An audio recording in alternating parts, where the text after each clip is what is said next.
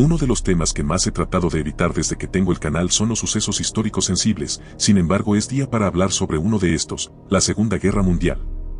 Claramente quiero que tengan claro que habrá una censura bastante considerable en este video. Espero se pongan cómodos y como siempre, recuerden que en este iceberg, entre más arriba estén estos datos, son más conocidos y normales, y entre más abajo, más extraños, turbios y desconocidos. Así que sin más que decir, bienvenidos a Historias del Búho, y empecemos ya con el primer nivel.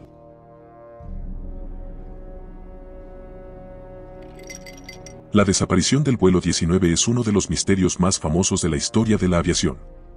Se refiere a la desaparición de cinco aviones de la Marina de los Estados Unidos el 5 de diciembre de 1945. La misión tenía como objetivo realizar un vuelo de navegación sobre el Océano Atlántico, practicando técnicas de lanzamiento y bombardeo. Sin embargo, poco después de despegar, se informó de problemas de navegación y comunicación. Las transmisiones de radio entre los pilotos del vuelo 19 y la base fueron confusas, hubieron tormentas aéreas y problemas de comunicación, hasta que finalmente no se supo más de los aviones.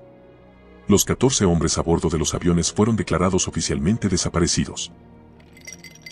La batalla de Los Ángeles fue un incidente ocurrido el 24 y 25 de febrero de 1942 comenzó alrededor de las 2 de la mañana debido a la noticia de la detección de un objeto volador no identificado, lo que provocó un pánico generalizado en Los Ángeles. Poco después, la artillería antiaérea comenzó a disparar hacia el cielo, iluminando la noche con ráfagas de fuego y explosiones. Durante varias horas, miles de proyectiles fueron lanzados al aire con el objetivo de derribar el supuesto avión enemigo. A pesar de la intensidad del bombardeo antiaéreo, no se informaron aviones enemigos derribados ni se encontraron restos de un ataque japonés, por lo que todo el bombardeo fue en vano, y no se sabe con certeza qué fue lo que se vio aquella madrugada. El holocausto es considerado uno de los crímenes más atroces y horrendos de la historia. Fue un intento sistemático de aniquilar a todo un grupo étnico y religioso, basado en la ideología antisemita y racista del régimen nazi se llevó a cabo entre los años 1941 y 1945 y tuvo como objetivo principal la persecución y el exterminio de aproximadamente 6 millones de judíos, así como de otros grupos considerados indeseables por los nazis, como gitanos, personas con discapacidades, homosexuales, comunistas y disidentes políticos. Considerado uno de los artífices del holocausto, Rudolf Hess, nacido el 25 de noviembre de 1901, fue comandante del tristemente célebre campo de concentración de Auschwitz, donde fue el responsable del fallecimiento de 3 millones de personas. El evento más destacado y controvertido en la vida de Rudolf ocurrió el 10 de mayo de 1941, cuando voló solo en secreto a Escocia, en un intento de negociar la paz con el Reino Unido. Su acción fue considerada una traición por Hitler y el partido, por lo que estaba claro que iba a ser fuertemente castigado, pero antes de cualquier cosa, fue arrestado por las autoridades británicas y pasó el resto de su vida tras las rejas hasta quitarse su propia vida con un cable de la prisión. Realmente no se sabe el motivo de su traición. La Cámara de Ámbar es una obra de arte y un objeto histórico famoso que fue construido en el siglo XVIII en Rusia. Era una sala ricamente decorada con paneles de ámbar incrustados en oro, espejos y otros elementos ornamentales. La Cámara de Ámbar se consideraba una de las maravillas del mundo y fue una muestra del esplendor artístico de la época. Desafortunadamente, durante la Segunda Guerra Mundial, la Cámara de Ámbar fue desmantelada y su destino se convirtió en un misterio. Se cree que fue sacada de su ubicación original en el Palacio de Verano y trasladada a un lugar seguro antes de la llegada de las tropas alemanas. Sin embargo, a pesar de los esfuerzos posteriores por encontrarla, su paradero sigue siendo desconocido. Zombies Nazis es una película noruega del 2009, perteneciente al género de comedia gore. La película se centra en un grupo de estudiantes que es atacado por un ejército de zombies nazis en las montañas de Noruega. El título parodia ligeramente a las películas slasher y la cultura popular nórdica, pero para ser una película con una trama tan extraña, no le fue nada mal. Recibió críticas mixtas de los críticos noruegos, y posteriormente fue calificada con un 68% de aprobación, e incluso fue nominada a cuatro premios. Nos encontramos en el nivel 2.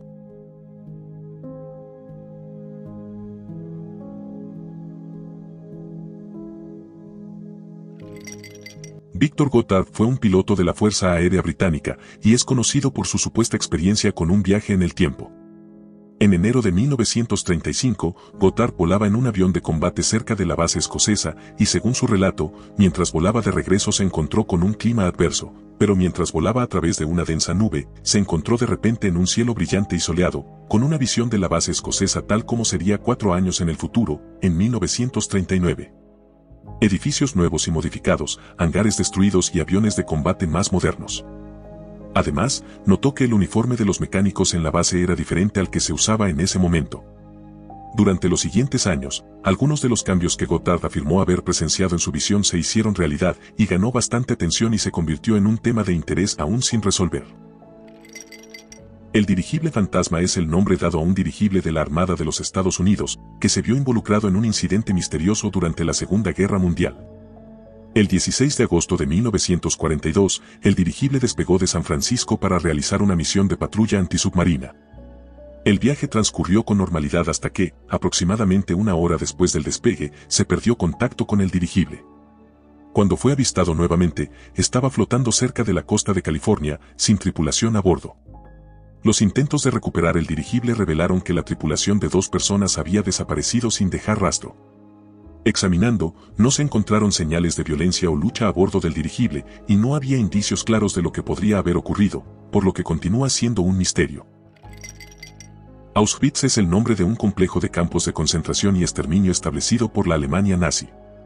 Está ubicado en la ciudad de Auschwitz, en la parte ocupada por Alemania de Polonia. Durante la guerra, Auschwitz fue utilizado principalmente para el exterminio sistemático de judíos, así como de otros grupos considerados indeseables por el régimen nazi, como gitanos, polacos, prisioneros de guerra soviéticos, disidentes políticos y homosexuales, entre otros.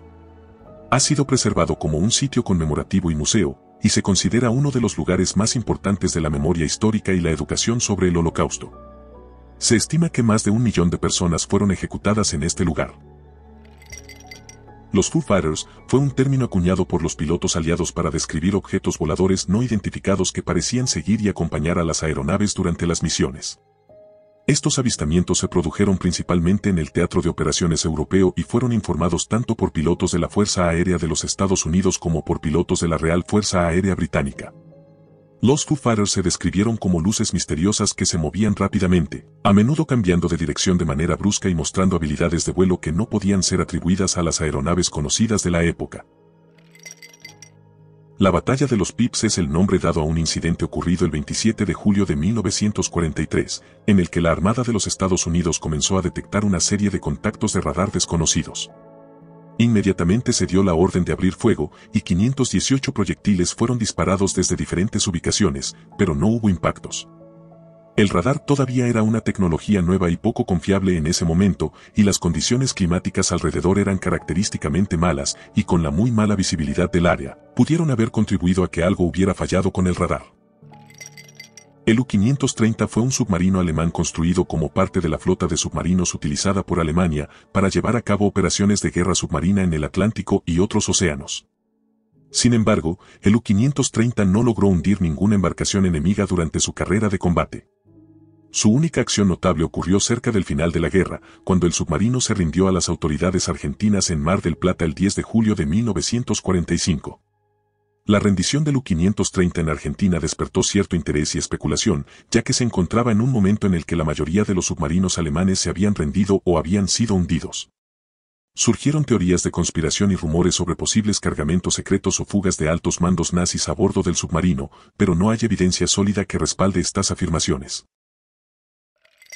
Estamos ahora en el nivel 3.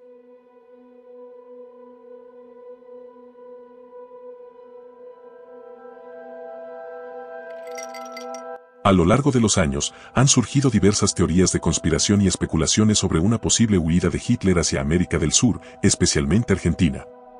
Todo empieza debido a dos testimonios. Primero, el de una anciana que aseguraba que había trabajado para Hitler y su mujer en 1956 en una residencia en Villa La Angostura, en Argentina, pero no especificaba haciendo qué labor. Otro era el de Eloísa Luján, quien afirmó haber sido una de las catadoras de la comida que se le servía al líder nazi para asegurar que ésta no estaba envenenada. Erwin Rommel fue más conocido como el zorro del desierto y pasó de ser el general favorito de Hitler a recibir su orden de quitarse la vida.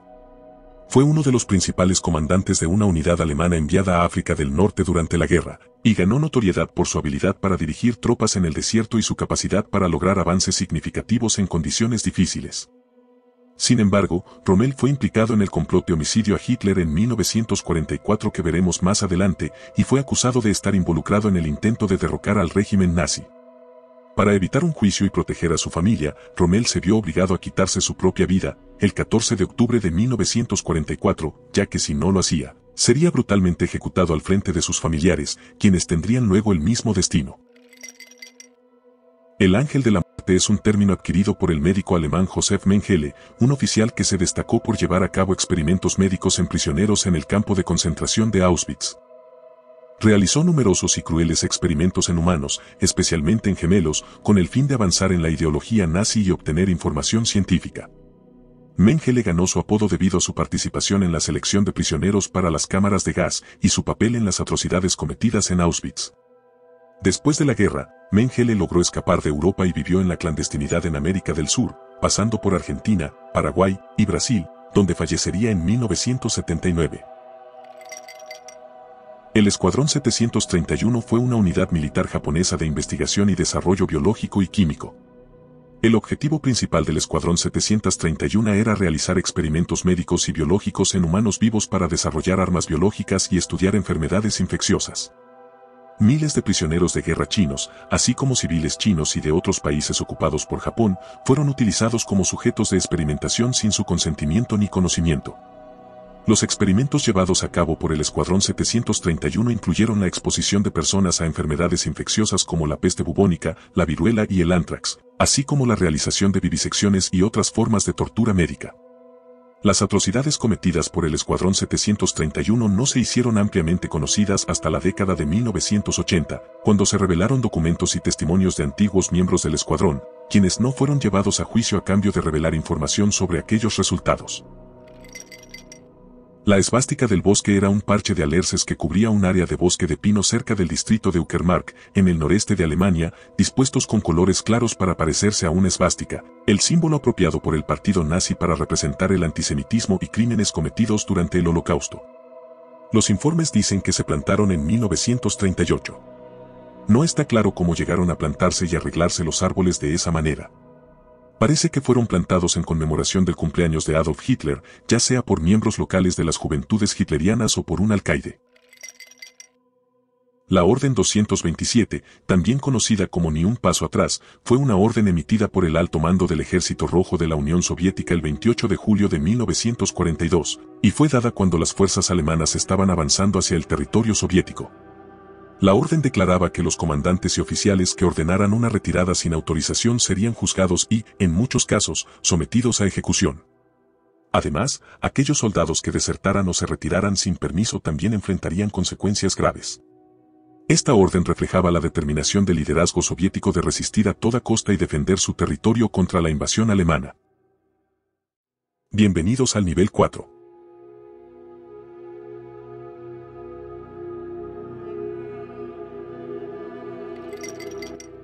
El intento de homicidio a Hitler sucedió el 20 de julio de 1944. El principal conspirador y líder del atentado fue el coronel Klaus von Stauffenberg, un oficial de alto rango del ejército alemán.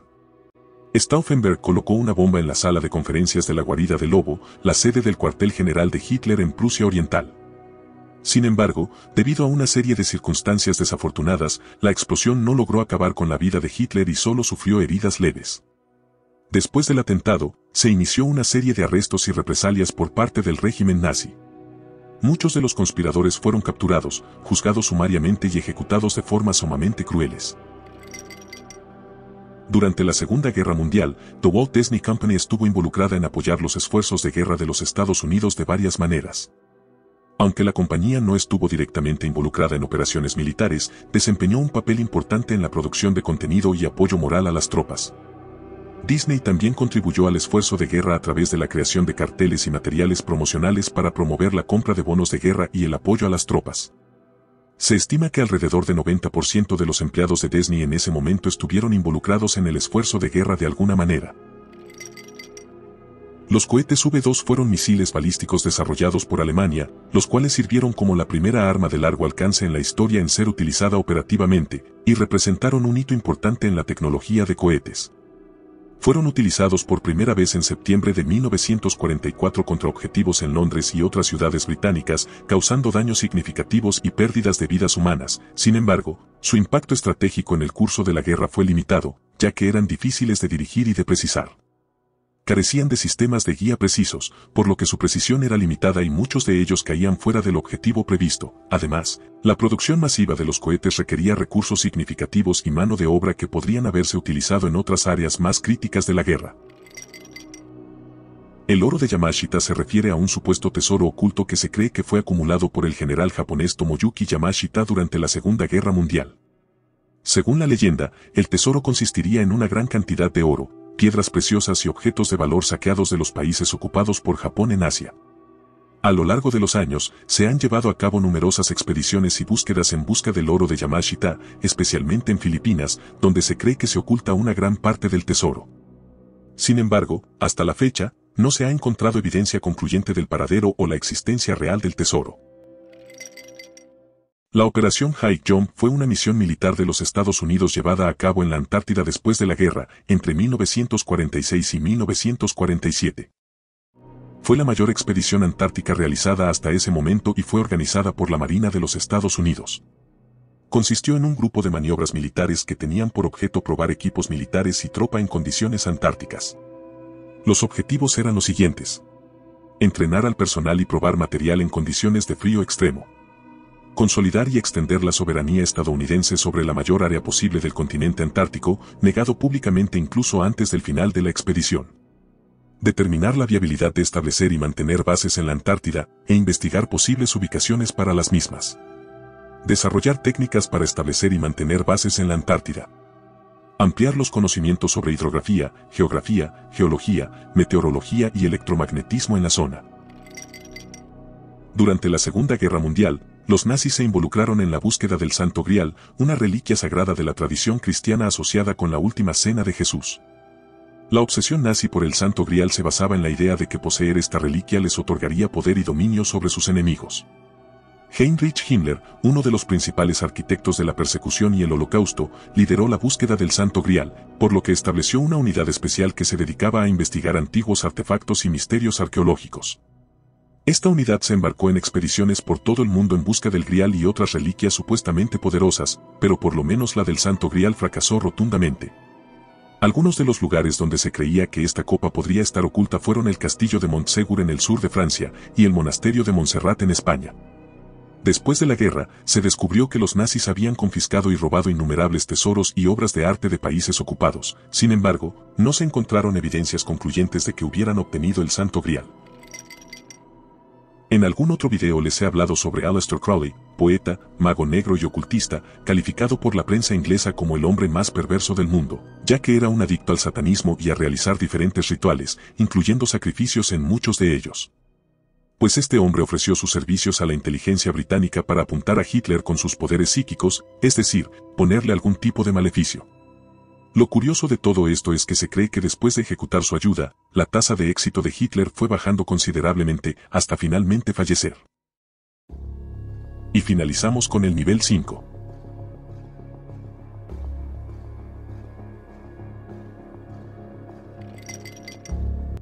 La desaparición de 3.000 soldados chinos en 1939 sigue siendo aún un misterio. Con Japón devastando China, se perdieron muchas vidas en ambos lados, pero la pérdida más extraña fue la del batallón de Nanjing. La tarde del 9 de diciembre de 1937, el comandante del batallón se acostó como de costumbre después de atender a sus tropas, pero en la mañana del 10 de diciembre, un ayudante lo despertaría con noticias inquietantes.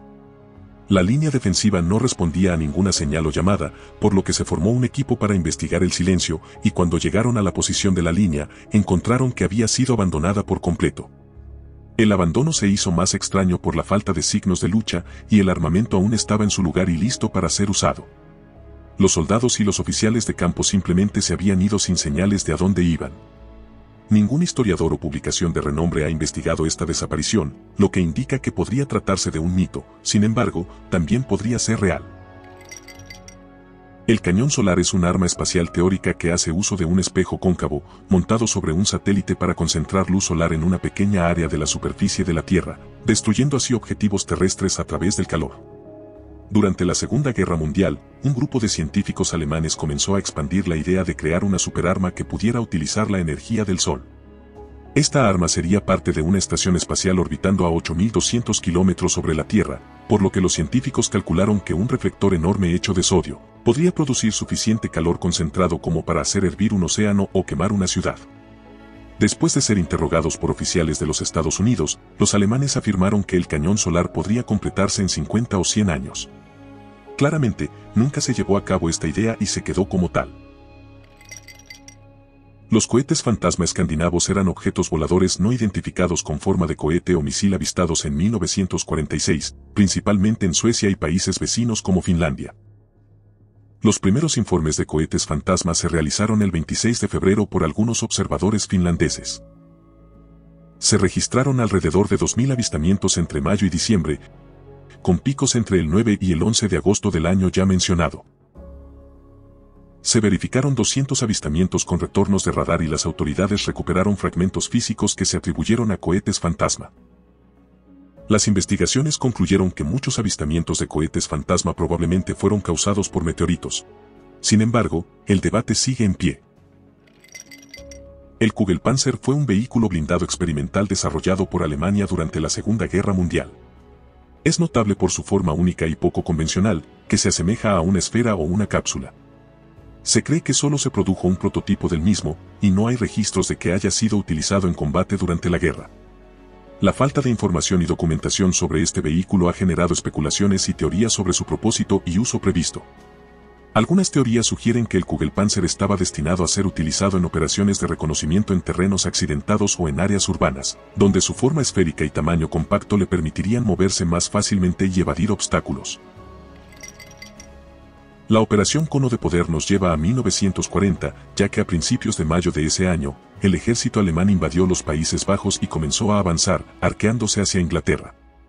Esto hizo que un grupo secreto de brujas británicas organizaran un asalto mágico a la mente de Hitler, que en aquel momento se encontraba en el lejano Berlín. Este ritual tenía como principal objetivo debilitar la mente de Hitler y reducir su determinación de invadir Inglaterra. Se cree que 17 personas participaron en el ritual de aquel 1940, incluidos miembros de una familia local que se dice que es descendiente de brujas.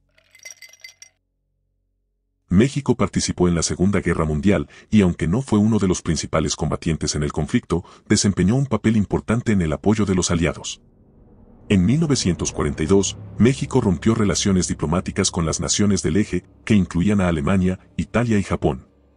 Esto fue en respuesta a los ataques alemanes a los barcos petroleros mexicanos en el Golfo de México. Además, México declaró la guerra a Alemania e Italia en mayo de 1942, aunque no participó directamente en combate.